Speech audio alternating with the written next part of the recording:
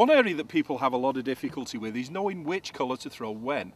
You know, I've never yet come up, up with a company where they, they actually tell me which colour I need to throw in which situation and why. Um, so consequently, most of it is trial and error. And, you know, it takes a long time to get it right.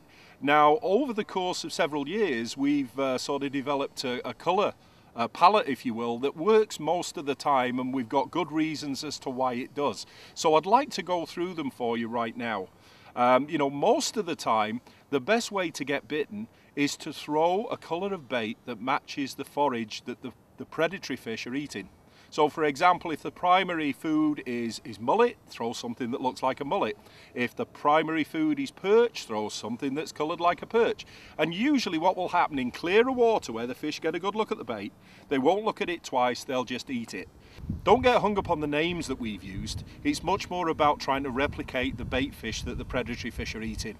So, uh, you know, just make sure the colour scheme's in the ballpark and then uh, you'll get a bit more often. Um, however, there are situations where the colour of the prey isn't always the best colour to throw. And what you have to do to come up with that is consider how the fish are seeing the bait because a lot of the time it's about contrast, about being able to pick out the bait from all the background clutter that the fish are looking at as well and think about the situation the fish is in.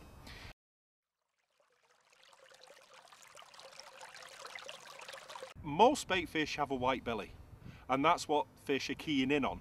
So obviously this is a bait that works almost everywhere most oh, of the time. However, there are times when it's a little bit difficult to see because the reason fish are, are white underneath is oh, so they blend in with the ripples and the, the, little glints that happen on the surface and also the clouds. So, uh, but where white is particularly good, I find, is when you're fishing in water that's off colour, whether it's either tannic, i.e. Oh, coffee coloured, uh, where there's an algal bloom where it's green, or where the water's dirty. What white does is it gives off a bit of a glow to it and uh, it just makes it a little bit easier for the fish to find. So that's where I would use white. Jeez.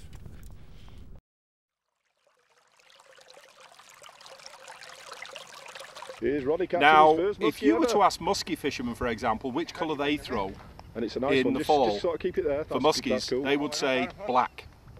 now, if you ask them why they throw black, they, most nice of them say buddy. because it works. Uh, they don't really have a good reason as to why it works. well, the reason it works is very simple. If you think That's about cool, what mate. the fish are looking at, they're in the water, looking upwards, and seeing a black oh, bait against what? An overcast sky. Most of the time in the fall, the sky's overcast, which means it's white. So black is a great contrast against a white sky. That's why black oh, works.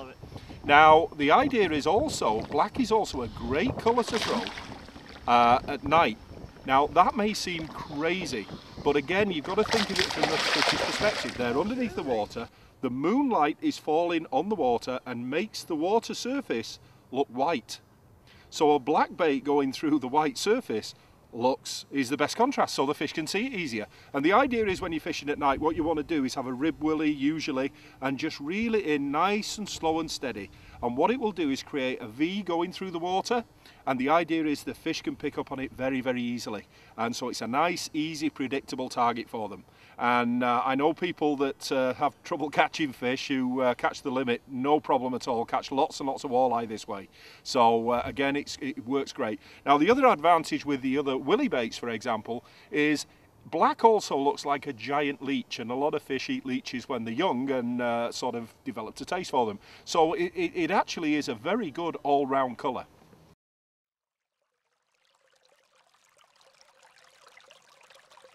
This is bubblegum.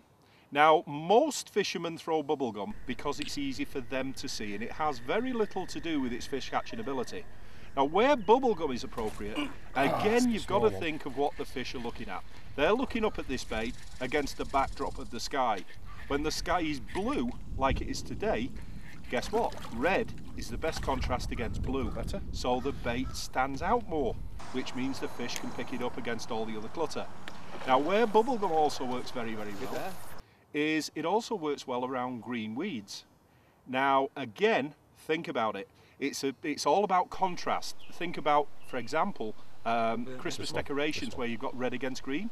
Very big contrast. Uh, you know, our bubble gum is very red on purpose for that reason. So again, it's easy for fish to see. Now the idea is when you're fishing this, It's bubblegum on both sides, so you can see it very clearly even from a big, big distance away. Now when that bait disappears, chances are better than good. A fish has got it in his mouth, so set the hook. Oh!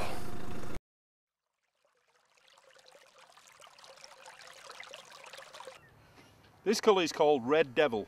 It's got a gold belly and a red back with a little bit of black flaking.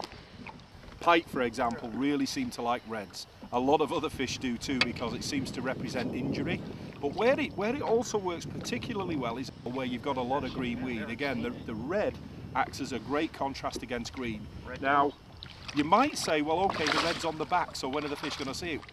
As the bait moves through the water, it will kick over occasionally and flash its back against the weeds. And when it's dead calm, because if you look at this little bit of footage, what you'll see is the surface acts like a mirror when it's calm, and it actually reflects the back of the bait. So what the fish are seeing is the weeds that they're lying in, and they're also seeing the back of the bait against the green weed. So it's very, very easy for the fish to pick out, and that's where it worked particularly well. Now, one of the downsides with it I've found, and it's only a small one and it's very easily rectified, is that sometimes the fish actually strike the reflection and miss. So if you find you're getting some missed fish, very simple remedy, turn the bait upside down. Turn it upside down so the red's at the bottom. Now what that will do as well is the front, the V-shaped front, will force the bait down a little bit so it get a little bit closer to the fish as well. But what they'll do is they'll attack the red and it works very, very well indeed.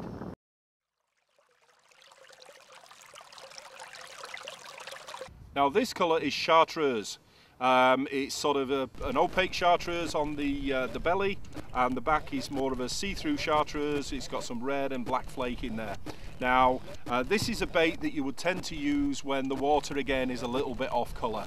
Uh, you know it'll tend to sort of have a bit of a glow to it and it's a little bit easier for the fish to find. So the two colours I go to when the weather uh, when the water isn't clear is, is white and chartreuse.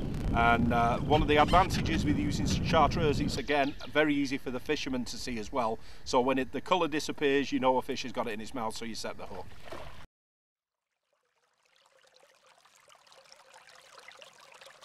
This colour is called smelt. It's got a white belly, a pearl white belly, and it's got a blue back. Now, bear in mind these baits are somewhat translucent, so when the fish are looking up at them, the light is actually going through these baits. And this has that same sort of uh, colour to it in the water as, as a smelt does. Uh, and in fact lots of fish, shad as well, uh, are sort of this kind of colour. But another area where this, this blue particularly comes in very handily is that this is the colour that bass see the best. So I use this colour quite a lot for pitching and flipping in thick cover for example and the bass can get a good look at it and again because I'm fishing with uh, a bait that's uh, bait fish shaped um, you know and not the usual sort of crayfish and that kind of thing it tends to get bitten a bit more so again uh, as a bass colour this is really cool.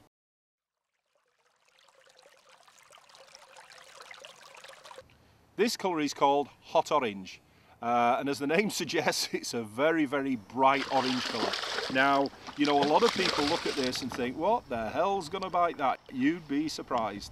Uh, there are some fish that are just completely and utterly mental. Fish like muskies, for example, and smallmouth just like really freaky colours. And uh, they get all over this colour like crazy. But another fish that really likes orange is the walleye, or pickerel as people call it up in Ontario.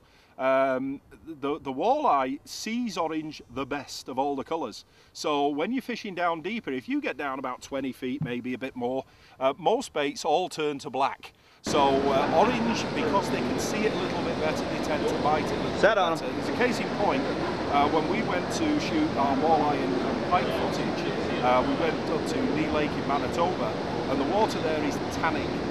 And we found that hot orange outproduced every other colour that we had over 5 to